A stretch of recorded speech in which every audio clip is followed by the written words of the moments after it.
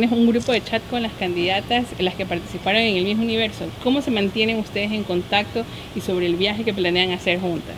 Por supuesto, esta experiencia del Miss Universo 2015 va a ser inolvidable. Gracias a Dios seguimos con la comunicación con ellas eh, a través de un grupo de WhatsApp.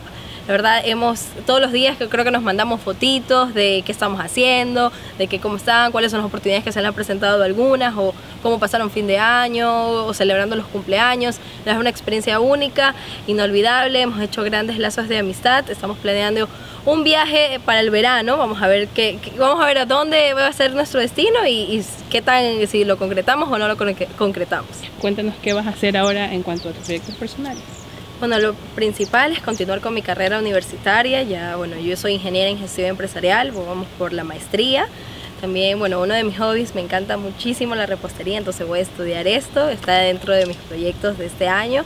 Eh, también, quizás, un negocio propio, entonces vamos a ir poco a poco y por supuesto si se presenta alguna eh, oportunidad para la televisión o algo en el medio, no hay que descartarla nunca. Pueden seguirme en Instagram, Facebook y Twitter como Francesca Cipriani por suerte están enlazadas una con otra, entonces todas se utilizan. Uno postea algo y automáticamente ya aparecen en todas. Igual estoy pendiente también de, sus mensajitos. Cuando puedo le contesto los mensajes. Muchísimas gracias por el apoyo, así que síganme para ver qué actividades viene como Francesca Cipriani.